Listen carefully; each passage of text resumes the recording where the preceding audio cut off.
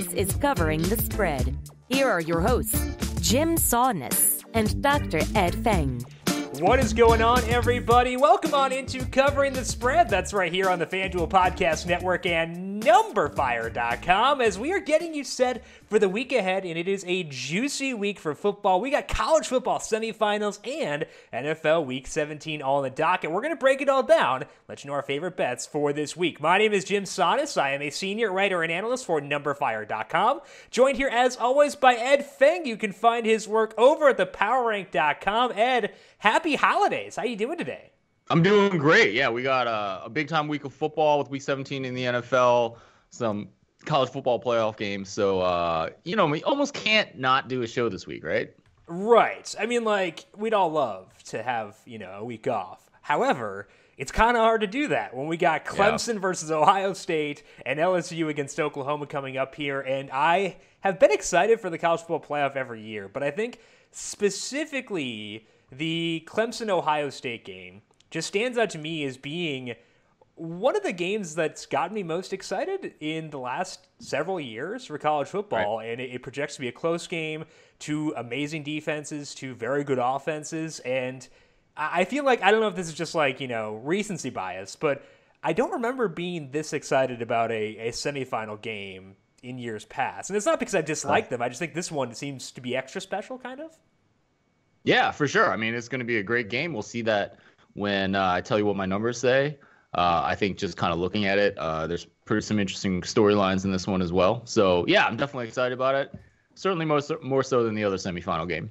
Yeah, that one uh, it doesn't look quite as tasty. We're going to break both those down here in just a bit, and we'll also go through, as mentioned, a couple of Week 17 NFL games, combining things into one podcast for this week. If you want more covering the spread, that we did have a full bowl preview last week, breaking down what Ed's numbers like for this bowl season, a couple of betting tips as well for bowls in general. To find that, just search for covering the spread on Apple Podcasts, Spotify, Stitcher, iHeartRadio, wherever you get your podcasts. You can find covering the spread. And while you're there, we would appreciate it very much if you would leave a rating and review because those do help us out a ton. Bowl preview is last week, and we'll get back at it uh, next week as well, talking about uh, more NFL games for the first round of the playoffs. And you can subscribe and get that right as this post. This is the only podcast for this week, so just one, kind of like Thanksgiving week. We'll, we'll bang out both college football and the NFL all at once and get back with you next week. Before we take a look at this week's action, though, we got to go back to last week. We had Edward Egros on to talk about uh, week 16 of the NFL. Edward did really well, so we'll go through what Edward had and talk about a couple of bowls that were relevant to Ed's covering the future last week with interim college coaches in bowl games. Covering the past.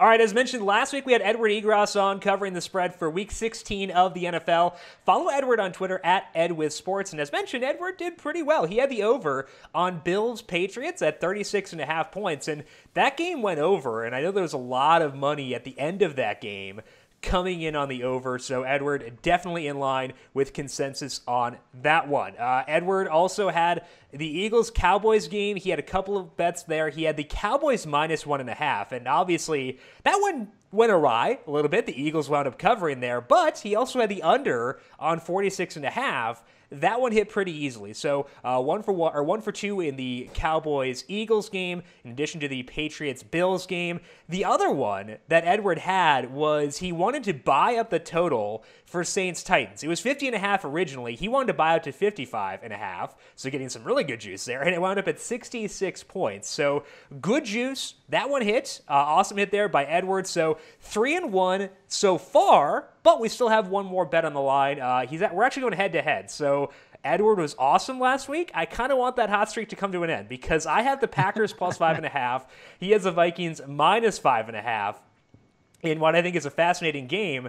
I got a little bit of assistance there because the Rams lost on Saturday night, which means the Vikings are locked into the playoffs now. It's not necessarily going to mean that they just pack it in because they could still win the NFC North, and obviously you want that that uh, that home game. But it doesn't hurt to have a little bit less motivation on the Viking side. So we'll see how that one goes out tonight, and we'll recap that next week on the podcast as well.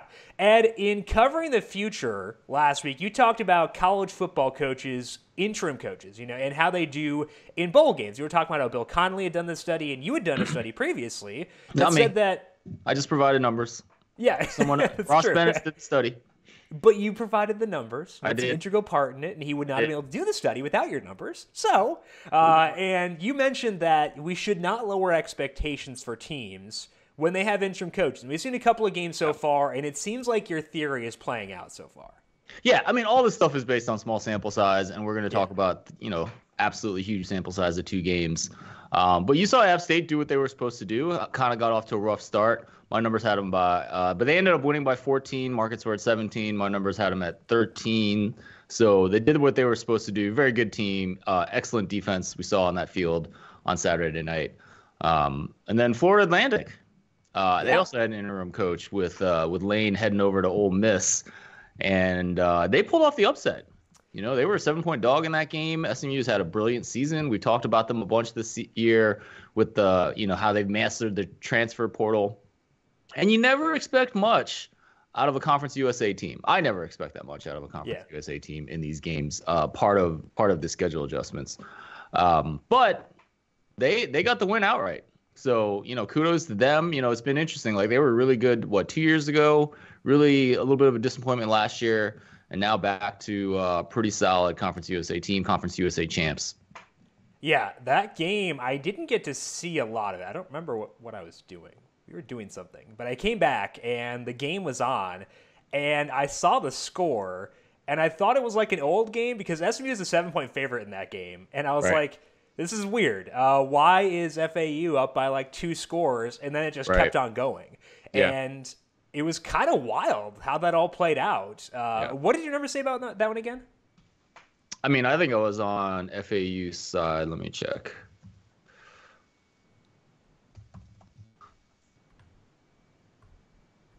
Uh, I mean, I had SMU by two and a half, three.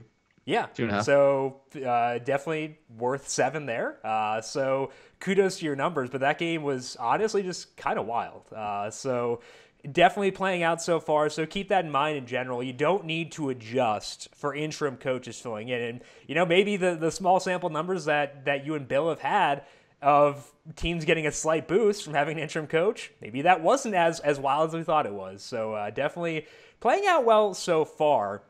We'll see how that goes, is because there are a couple ones still in the bucket Yep, there are uh, for the rest more. of bowl season two. So Yep. Uh, be sure to keep that in mind as well. If you want to get in on the action, maybe bet on a couple of the teams with interim coaches, check out the FanDuel Sportsbook and place your first bet today. If you lose, FanDuel will give you a refund up to $500 in site credit. Visit sportsbook.fanduel.com for more details. Terms and conditions apply. Must be 21 plus and physically present in New Jersey, Pennsylvania, West Virginia, or Indiana. Gambling problem? Call 1 800 GAMBLER. Let's take a look now at these college football semifinals in covering the present, break down what Ed's numbers are saying there, what I'm thinking with those games, and then take a look at NFL Week 17 as well. Covering the present. All right, let's dive in here to the college football semifinals, starting off with Oklahoma versus LSU. LSU a 13 and a half point favorite here, and the total is 76 over at FanDuel Sportsbook. And Ed, I want to talk about both the spread and the total in this game. Starting off with the total because it is quite high, justifiably so. We know both offenses can definitely be overpowering, and, and the defenses are not the strengths of either team. So is that enough to make you like the over here, or is it high enough to compensate for how good these two offenses are? Yeah, I mean, I've kind of been ignoring my numbers on Oklahoma totals all year. They've been kind of stratoscophically, so stratospherically high. Yeah. Um, so yeah, I mean, I think 76 is about right. I mean, um, you know, Oklahoma's defense has been a lot better than last year. They're top 20 when I look at adjusted success rate. Um, LSU's defense really took a surge uh, actually towards the end of the year. They had that awful game against Ole Miss where Right. they were they were terrible in every which way imaginable. Um, but it's been much better since then. Uh, I think they're up in the top 15 now when I look at success rate adjusted for who you've played. So, I mean, I don't, I don't, I, I think this market value is pretty fair. Yeah. I'm not excited about either side. Oh, yeah, I, I think. Go ahead. Well, and we do need. I mean, I, I think this this means more for the side, but you know, Oklahoma's offense has really changed over the course of the year. We've talked about this on the show already, um, and Jalen Hurts has been running the ball a lot more. So Lincoln Riley has said, I think our best chance of moving the ball against Big 12 defenses and some of the better ones is to run Jalen Hurts. So the first eight games, he ran about 13 times a game, and the, these numbers are including sacks, but um, but the uh, last five games has been 23 times a game. And I, you know, and, and his efficiency hasn't been great there. He's a good runner, but like teams are starting to expect this. He wasn't able to do it on defense like Baylor, very strong unit, very physical unit. Um, so I don't think it's the same explosive offense that we kind of saw at the beginning of the year. They're clearly not um, trying to get the ball upfield to their very talented receivers. Um, so that that's another reason why I don't really trust my numbers. Uh, yeah. Um, I, I, I think we got to trust the markets on this one.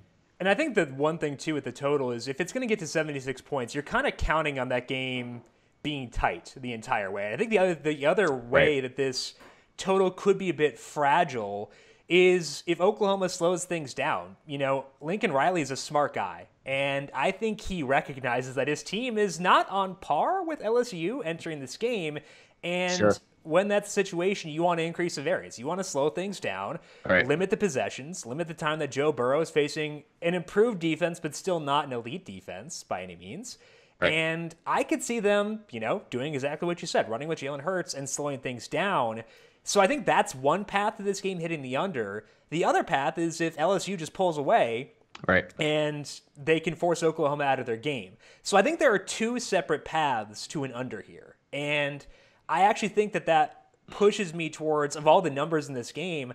I think the under is the one that is most attractive. I understand mm. why the over is interesting because I agree neither defense is like great. Like they're both fine, uh, but I right. don't think either is great. So from a defensive perspective, sure, 76 makes sense.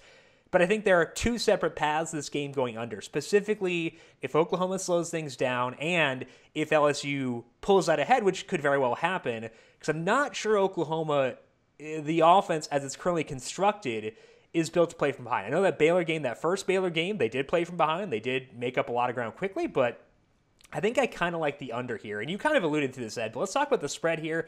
13 and a half points. It's a pretty big number, but Oklahoma has just consistently underperformed on its numbers all year, and their numbers have gotten steadily worse as the season has gone along. So, what are your thoughts on the spread here at 13 and a half? So, when I was first thinking about this name, a game, I, I kind of, you know, I mean, my number is six and a half uh, yeah. with LSU. What has it? Uh, that's what my numbers have. I kind of thought the market would come out at like eight or nine, and then you know I think it was it was easily to.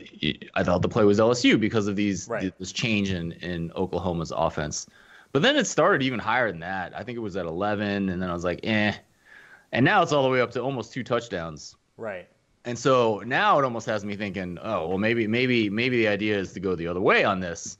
Um, again, I mean, I think Lincoln Riley's a smart dude. I think he may slow this down, try to you know, slow down Joe Burrow, um, keep the number of possessions down in this game in order, and and you know, if if the offense can do. Um, if, the offense can score, like we know Lincoln Riley's offenses can score, that they, you know, LSU is going to make it hard to cover almost two touchdowns in this game. So I kind of don't know what to think about this. Uh, yeah. It's been, it, you know, uh, it's one that I think there's a difficulty in using numbers to figure out where this line should be. Right. Um, and that's that's partially be just the changing nature of Oklahoma's offense. And um, I actually just looked. LSU's defense is up to fifth in my adjusted success rate. That was not the case after that Ole Miss game. Um, they were awful in that Ole Miss game. So uh, over the last few games, uh, it has really moved up. And um, yeah, it's a pretty. It you know LSU is the top ranked team in my numbers uh, in the rankings that I look at to make these predictions. Yeah. Uh, Ohio State and Clemson are not very far behind, and we'll talk about that. You know, when we talk about the next game. But there's a drop off to Alabama at fourth, and then there's a real drop off uh, to Oklahoma after that. So yeah. expect LSU to take care of business here, and uh, this magical season for them continues. Yeah, I think if I had to pick a side here, I'd go with Oklahoma. Uh, Right. Oklahoma Yeah, plus it 13 and a half for the reasons you mentioned. Because I do think I would, if I were Lincoln Lincoln Riley, I would slow it down, which would lend itself both towards betting Oklahoma plus 13 and a half and the under at 76 points. And I wouldn't be shocked if that's how things play out. Like you never want to assume the way a coach is going to play things because that can lead to a Right. lot of bad assumptions. But I think in this sense, in this case, it's kind of hard not to think that way if you're Lincoln Riley. So Right. I, I would prefer to just go with the under personally. But if I had to go with a side, I think that uh, Oklahoma plus 13 and a half, even if they're not going to win, like like 10, 10 points, like if it's a 10 point game, it might not actually be that close of a game, but they could still cover despite it not being that close of a game. So I think that's that's where I'd lean, but my, my biggest inclination is with the under here. Any final thoughts for you on this one, Ed, before we move on, move on to the second semifinal? Yeah, maybe you know it's interesting to see if Joe Burrow can continue what he's done. I mean, obviously we have a pretty big 13 game sample. Yeah. He's been great, won the Heisman. Uh, obviously, have questions about Oklahoma's defense. Uh, you know, pretty good unit, top 25 unit. Uh, Yeah. Was, they are 21st when I look at adjusted success rate. When I think about this game, when I watch these two teams play, it seems like LSU's offense should have a big advantage. So we'll see if that holds.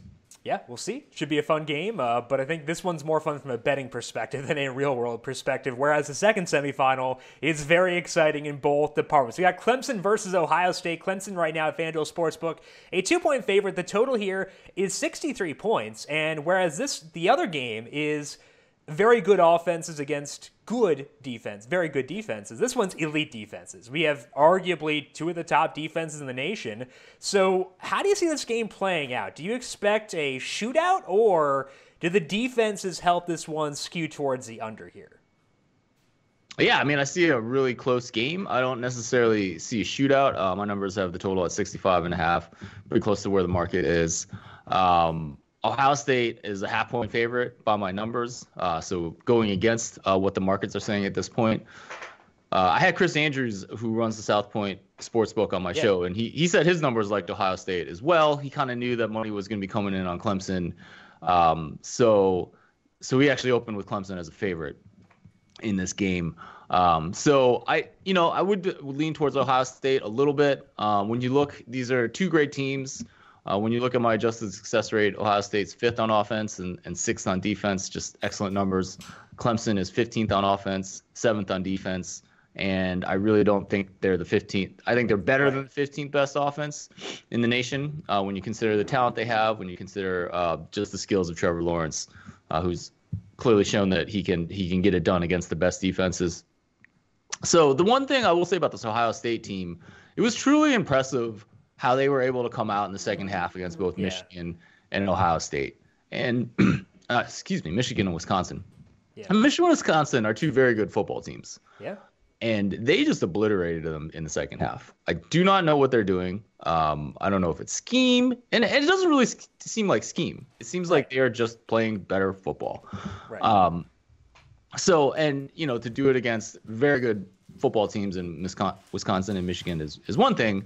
You know, can they do it against Clemson? I don't know. Right. So, so that's what I'm kind of looking to see here. Um, whatever it is Ohio State's doing, uh, c- can they continue it when the competition takes a significant leap up?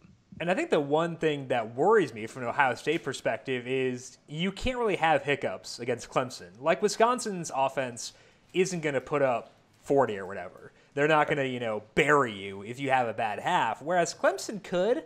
And seeing this Ohio State offense at least sputter. I wouldn't say struggle. They've sputtered a bit. I think the Penn State game was a little bit of that too. Uh, then the Wisconsin game, when they faced good defenses, the offense didn't quite hum as well. They did adjust in the second half and get a lot better there.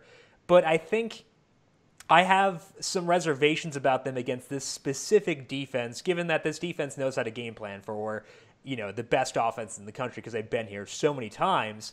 I think that a lack of faith, or not a lack of faith, a some some question marks about the Ohio State offense would push me towards the under. However, because this game projects to be so close, I am very hesitant to go with the under because it could be one of those where you see a lot of rapid fire action and right. that pushes me away. So while I have some questions around the Ohio State offense against this specific defense, it's not enough where I can bet the under, and I also don't have a great read on the spread here. So personally, I think I think both these lines are good, and I don't have a great read on how this game's going to play out, which is a testament to how good both these teams are. But yeah. I think that if I have one question mark around this game is it's will Ohio State be able to overcome any sputtering they have against such a good defense? Yeah, for sure. I mean, Clemson's defense is great. Brent, Brent Venables gets it done every single season, no matter who he loses to the NFL. This year is no exception. So, yeah. But I mean, we've seen Ohio State's offense. I mean, Fields has been fantastic. I mean, he's got a he's got some kind of knee injury. Uh, I don't know what it is, but I mean, he came out of the Michigan game for a play or two. He came back with a brace, uh, threw a ridiculous touchdown pass after that. so, um, uh, there's plenty of explosive players on Ohio State's on uh, for Ohio State on offense. Uh, the interior, Ryan Ryan Day said the interior of their line is is one of the best in the country, and you can't argue with that with, with the way they controlled the line of scrimmage against Michigan, uh, and and against Ohio, and against Wisconsin in the second half. So I, I do have faith in the Ohio State's offense uh, to get it done against Clemson. Is it enough faith for you to bet Ohio State? Because you mentioned that your numbers do like Yeah. them by a bit, but it's not it's not a huge one. Would you actually go with them, or I mean, is I- it an efficient line for you? Um, I'm leaning that way. I haven't pulled Okay. the trigger on it. Uh, probably look. I mean, Ohio State had a ton of guys hurt, so I want to look at the injury report before I finally pull the trigger. Chris Andrews did like being on the side of Ohio State uh, Okay. in this game, uh, so that that's the bookmaker's perspective, Yeah, and, and one that's been and, and, and a bookmaker that's been doing it for a long time. So Right. I I do think Ohio State's the right side with the market at, at Clemson minus two. Okay. Um, yeah. All right. Any final thoughts on this game before we move on to NFL? No, I think it should be a great one. Like you said, Yeah. probably one of the more exciting semifinal games. Uh, don't think it's going to be anything like the blowout situation that happened last time these two teams met in the college football playoff. Uh, don't let that cloud your thinking, and it should be a great game. As we saw with Notre Dame earlier this year, those are different teams, and it should not impact the way you view teams in 2019. Let's move on to the Titans at the Texans as we kick off NFL Week 17. And this game is one that does have something on the line in a way for both teams because the Titans, if they win this game, they are automatically in the playoffs. They don't have to worry about anything else uh, as far as how things break elsewhere. Houston could, in theory, get up to be the three seed. And Bill O'Brien said Monday that he is going to play the starters. However, it's obviously a motivation gap here. Uh, the, the spread has shifted. It is now the Titans minus five and a half. It was four and a half, so clearly some money coming in on Tennessee. Total is down to 45 and a half. And is, is the motivation gap in these two teams enough for you to stay away, uh, side towards the Titans? What are you thinking here? I mean, is there really a motivation gap? I mean, I feel like if this were not a division game, you can make that argument a little bit. But it's a division game, right? And like, Yeah. you hate your division rivals. At least I know they do in the NFC East. So I, I don't know. Like, is there really a motivation gap here? You know, the, like you know these teams just played a couple weeks ago. Uh, I think if you're Houston, uh, I I think just I don't know. I mean, maybe they're banged up, maybe they're hurt, maybe maybe they want to rest up a little bit. I just feel I, I don't I don't know if I see a mo- uh, as much of a motivation gap as you do. I think uh, Yeah. Houston will be there to to play this divisional game. Um, I guess I mean I guess they can send Tennessee home, right? Uh, they could. They would need. They would need other stuff to happen too. I believe Pittsburgh, can, Pittsburgh and Oakland can still get in. Uh, Oakland has like a twelve percent chance of the playoffs somehow. I don't know how, but it, Right. it's it's a thing. There's a, They sim- need like there's a way.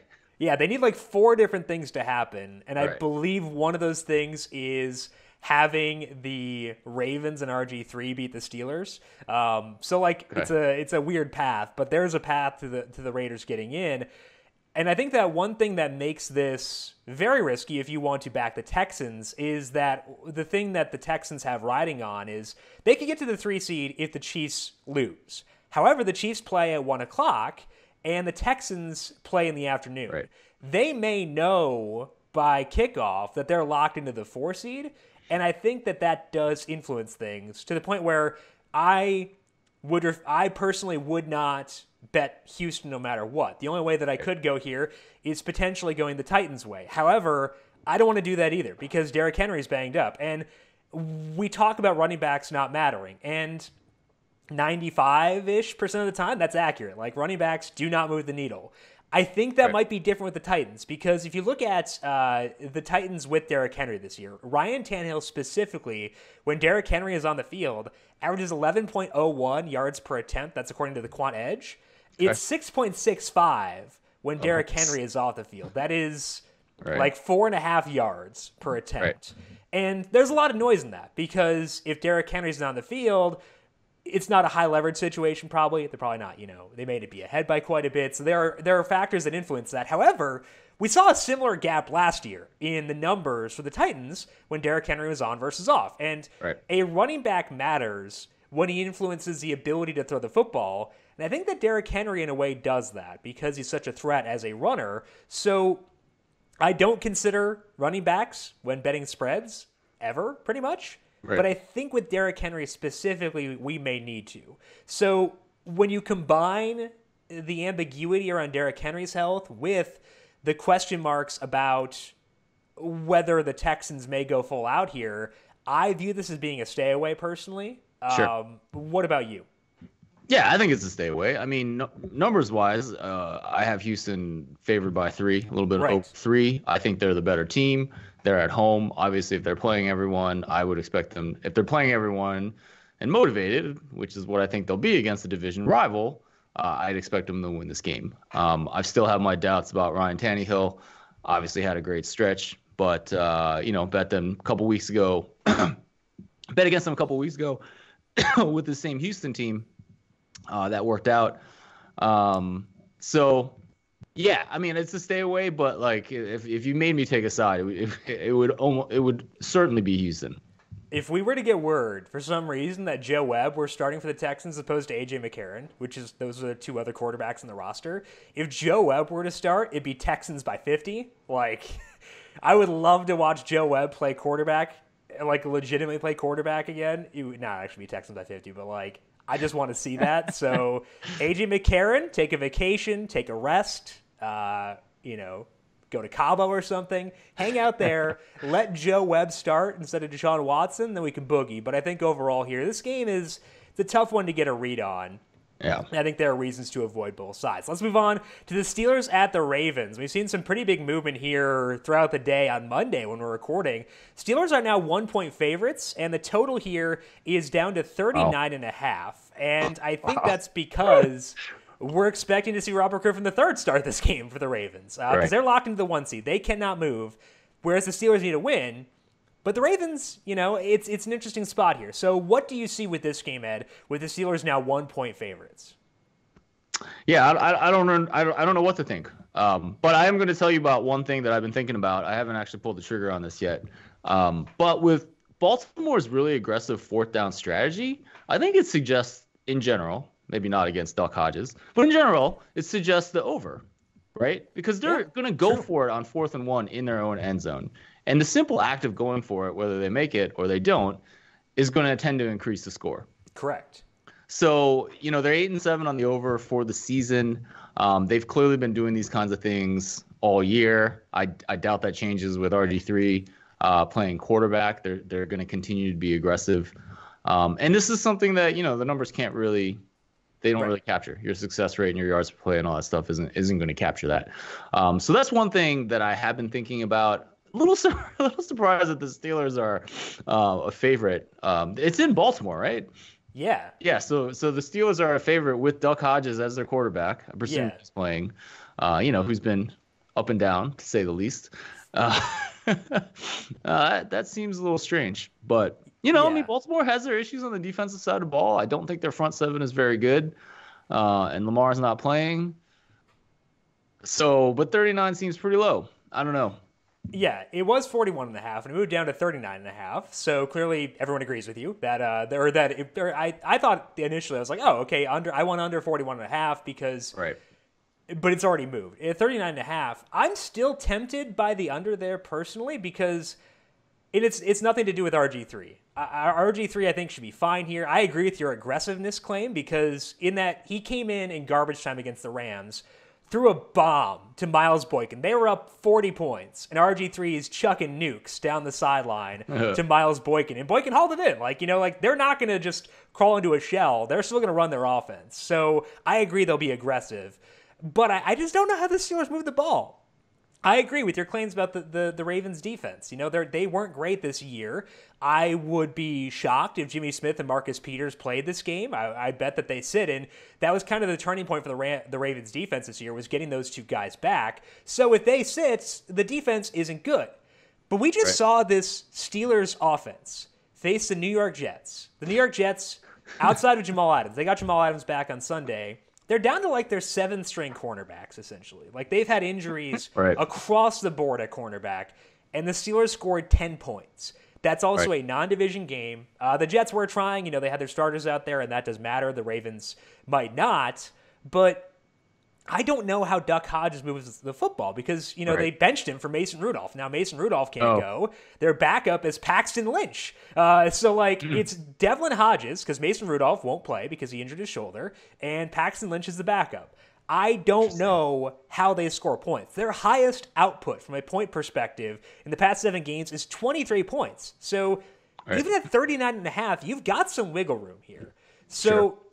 I would be interested in the Ravens plus one now. Uh, now that it's there, I'm also very interested in the under, even though it's 39 and a half points. I'm guessing Mark Andrews will sit. That plays towards the under. Um, not, the Ravens might not do a lot, but I can't see the Steelers' offense posting a big number what they've done in recent weeks. So I think I am on the Ravens plus one. I, I was not inclined to do it when they were favored by two and a half.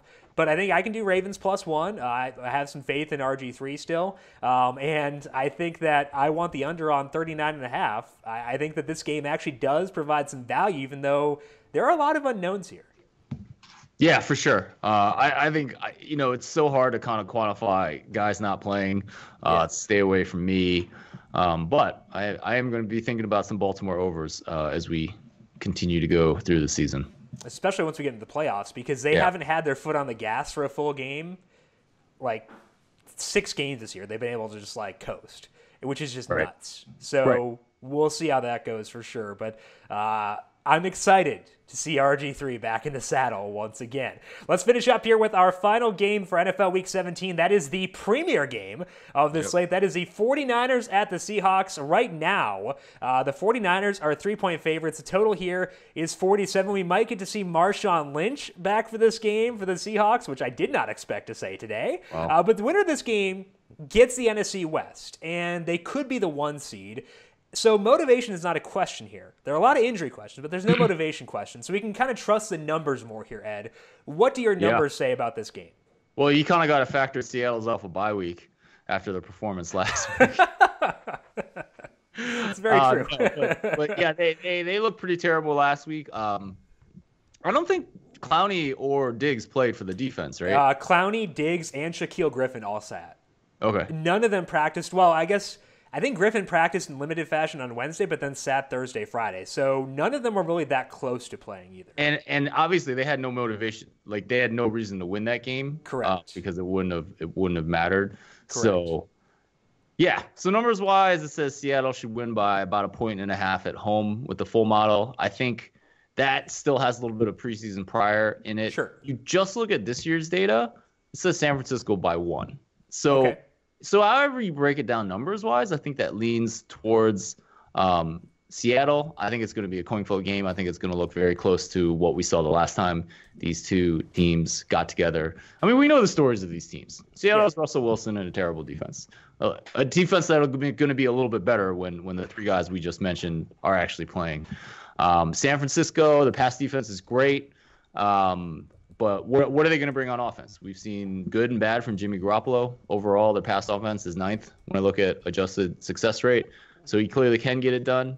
Um, so yeah, I think it plays out like last time. I think this game's going to be won on a last minute field goal. Uh, I don't really know who's kicking it. I wouldn't be shocked if it were either team. But if you're getting three points in Seattle at home, I think that that makes yeah. sense, you know, based on what your numbers are saying. And I think that the injuries here are impactful And I think that people, the reason the 49ers are favored by three is because people are focusing on the 49 or the, the Seahawks injuries. You know, they've got no Chris Carson, they've got no CJ Prosise. Uh, Duane Brown, their left tackle, just had right. surgery. He's not going to play uh, until at least the postseason. Interesting. But yeah. The 49ers have injuries too. Uh, Dee Ford will not be back week 17. Richard Sherman came back last week and he played. Uh, he was still banged up during that game. But I think one that's kind of gone overlooked is Weston Richburg. We talked with Joe Fortenbaugh about this injury, and right. I, at the time, had a lot of faith in the 49ers' ability to overcome that injury because they had overcome injuries to Mike McGlinchey and Joe Staley this year. So I thought they'd be fine. But the two games they played without Richburg, it was that Falcons game that they lost, and then they had the Rams game where Jimmy Garoppolo didn't play that well. And I've been in on Garoppolo for half the year now. You know, I've, I've liked him basically since that first Arizona game. I started to buy in. I liked what I was seeing from him. I, I thought that he was playing well despite not having full health around him. But the past two games have been concerning for me. I think that this is the first time I've started to question Garoppolo since, you know, early in the season. Right. And it worries me about backing the 49ers in this game. So we're talking about the Seattle injuries. We're right. not talking about the 49ers injuries. And I think that's influencing the way this spread lays out right now. Yeah, I mean, I have the most questions about Seattle's defense. I've had yeah. them since the beginning of the season, this preseason when we talked about this team. I still have them. I think Clowney's great, uh, and I think Diggs uh, has been good according to yeah. uh, people I know that, that that watch more more of this team than I do. But still, uh, it makes me a little queasy to to back them even plus three at yeah. home, even though I might end up doing it. Right, right. And I think that the hesitation makes sense because they have been bad. Like their defense has legitimately been bad. But I think that we're getting enough of enough accountants for that in the number right. where it's kind of like the Packers discussion we had last week, where neither of us have been as high on the Packers as the market, but then suddenly right. the market accounts for it, and it's like, oh, okay, I guess we like the Packers the now. Yeah, it's kind of weird. It goes back the so, other way. It's crazy. Exactly. So I think that if I had to go somewhere here, I, I would actually lean towards the over at, at 47 points. Um, it's gone down, actually. It was 47 and a half. It's now down to 47. But I think with the injuries on Seattle's defense and the injuries uh, to Dee Ford or injury to Dee Ford on the 49ers side, I think that I am okay going with the over here at 47. I wouldn't be shocked if it comes down more, so I'm not saying this is one you need to grab now. You could kind of hold off on this one and see where it goes. But I don't mind the over here at 47 points. But I think this game will be fascinating because, like, yep. I, I want to watch Marshawn Lynch play football again, you know, selfishly. like, that's fascinating to me personally. Right. Uh, but I want to see what Garoppolo does because I haven't had doubts on him for half a year now, and now I do again because right. of the Richburg injury. So I want to see how this plays out because this will go a long way towards forming my thoughts on the 49ers in the playoffs because Richburg's not coming back. And I think that's a, a major concern for them. So yeah. I think that I, I, want the over here, but the side is, is very interesting. Any final thoughts for you on this one, Ed? Uh, no, except that I'm looking forward to watching it. Uh, watched all of the last one. Fantastic yep. game. Eh, it was an exciting game. it wasn't fantastic, the most fantastic. Yeah, football. that was the game where uh, Tyler Lockett got hurt, and I think Manny got hurt too during that game. Yeah. It was just kind of a weird game. Uh, and there were was, some really there were some yeah. really poor throws towards the end of that game. Uh, that was Garoppolo's, I would say, worst game this year. Like he played right. terrible in that game, and that was like a week after I had been like, oh yeah, I think Garoppolo's starting to play better. And he looks like trash. Uh, so I was like, okay, cool, thanks, Jimmy. Uh, but there yeah, were a lot. Of, it's interesting. His, receivers dropped a bunch of balls in that game. And the Manny injury is really tough there, and he's he's healthy now. So like, but yeah. I the the Weston Richburg injury I think has gone a bit more overlooked than it should.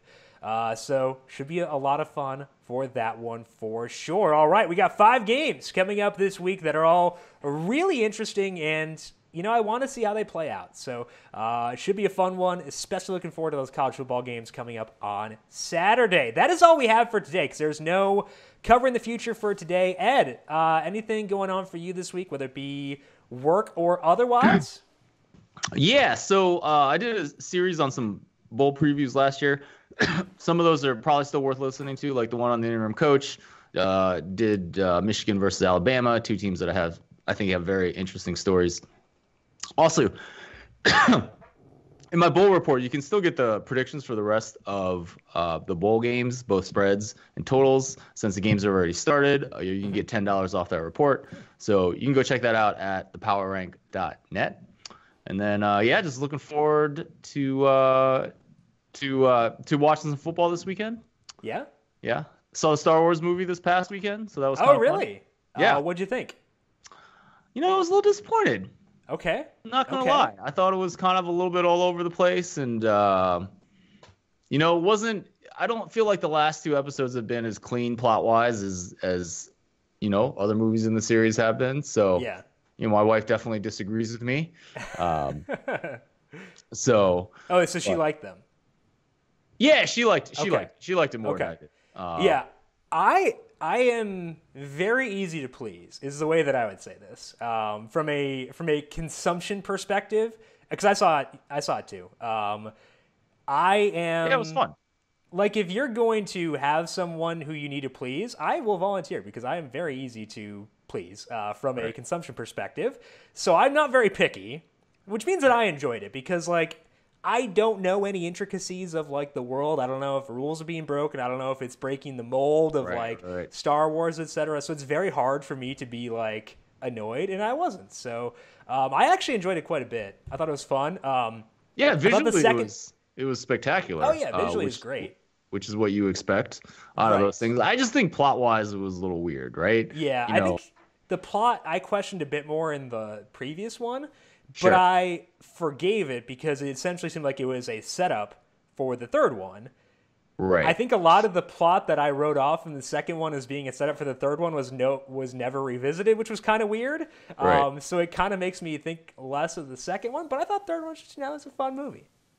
yeah, and I think it's interesting that they their initial plan was to have three different directors for these three movies. Yeah, And I think it's really hard to kind of keep plot continuity when you have that issue, right? J.J. Abrams did the first one, thought that was the strongest of the trilogy. The second one was Rian Johnson. Wasn't as excited about that, although I think that was more of a minority opinion. yeah, And they had a couple different guys that were going to do this third movie before J.J. Abrams took over.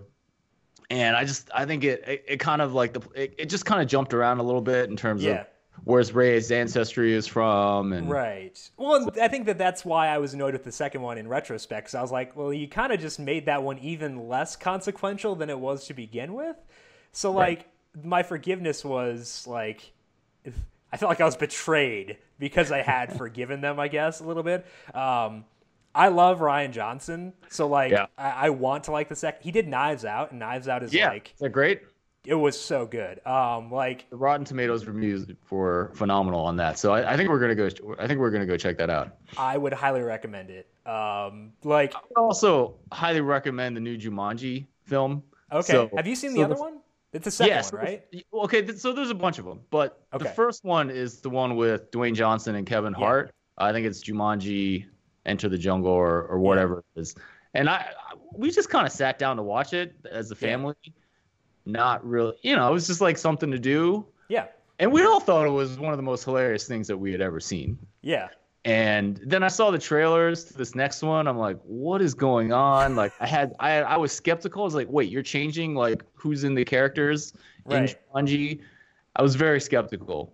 But it was hilarious. It was it was fantastic. They really did a good job. So go see the first one with, with not I, I haven't seen the old one with with with Robin Williams, but the Dwayne Johnson Kevin Hart ones. You Like, said you I- haven't seen the original one? What? You haven't seen the original one? I haven't seen the original one. What? Nope. That was like in your like prime movie watching like era. When did it come out? Like the mid 90s, right? Well, okay, so you gotta understand that growing up as an Asian child, I missed a lot. There's a big black hole of pop culture that I'm still kind of slowly Okay. catching up on. Like I never Fair saw enough. Star Wars as a kid. Really? Wow. never saw this. I, s- I've seen every single Star Wars movie within the last four years, Okay. like with my own children. Interesting. So I didn't know this. It was 95. Okay. Is when the Jumanji movie came out. yeah, no, so I've never seen that one. It, it scared me a lot, so I refused to like rewatch it after I watch it. That and Willy Wonka were the two most terrifying movies I ever watched as a child. um, like my aunt bought me a Willy Wonka like VHS when I was growing up, and like I just it taints everything. Like I just I can't. I, that movie's terrifying. Uh, the original one, the Johnny Depp one's way more terrifying. But I was older than when I saw that one. Um, Yeah. But yeah, I think I think between Knives Out and like Star Wars and now Jumanji, I think you've got some pretty good selections out there. Yeah. If you're a, a movie going person, so you've got college football, got the NFL, got some good movie selections. Yeah. What else could you want? Uh, I mean, it's a perfect setup for spending time with your family. I mean, that's why I really like, you know, like the act of just going and like the build up, Yeah. going out to Star Wars and just doing it with the family, and we all, you know, we did, we all had our differing opinions on it, but Sure. but just the act of doing it was is just a great way to spend the holiday. Yeah. Um, and that can be whether you have kids or not. So I spent the build up before getting yelled at on Facebook Live about Joe Mixon, so I was the build up to it was not that fun. I was very annoyed with everyone. Um, but once I got in there, it was an enjoyable experience. Maybe I was just like so annoyed by everything else that I was more inclined to enjoy it. Um, Right. But Yes, yeah, get away. sure. Do you have any uh, Christmas traditions in the Feng household? I don't know to eat, drink. Good. Yeah, no, I mean, no, nothing, nothing in particular. It's kind of changing uh, as our life changes. So, Yep. but yeah, we usually spend it together, and it's great. What about you? Uh, parents' house is always homemade pizza, and I am Nice. very much looking forward to that. Should be a, a lot of fun. A lot of On Christ- driving too. On but- Christmas Day? Uh, I'm usually not there Christmas Day. Okay. Because I'm we kind of move all over the place. But when I was growing up, it'd always be Christmas Eve. We would do the the homemade pizza. Uh, Okay. And it's just kind of whenever people are home now, because like Right. my sister and I both live on the East Coast. My parents are in Minnesota, so Right. it's kind of like whenever people can get home. Essentially, is uh, Right, right. how it works out. We do an escape room too, which Oh, I think cool. is really fun. Yeah, those are those puzzle things, right? Yeah, exactly. I'm terrible at them. I do not contribute at all, but I enjoy being there. So there's value in good. that. Well, happy holidays to Yeah, you, Ed, and to your entire family. Yep. Appreciate you swinging by here and talking for today. Uh, find all of Ed's work at powerrank.com and also find him on Twitter at the Power Rank. Uh, enjoy the football, and we'll talk to you again next week, Ed. Sounds good. Yeah, after New Year. Happy New Year. Absolutely. Thank you. And happy holidays to Calvin Theobald, our video producer as well. Thank you, Cal, for jamming us in here on this Monday and getting everything chopped up for the at FanDuel Twitter account as well. Uh, I am on Twitter at Jim Sannes, J I M S A N N E S. You can also follow the FanDuel Podcast Network at FanDuel Podcast. Happy holidays, everyone, tuning in for today. Whatever you may be celebrating, hope it is safe and I hope you have a lot of fun with your family and enjoy the football as well. We'll talk to you again next week. This has been covering the spread right here on the FanDuel Podcast Network.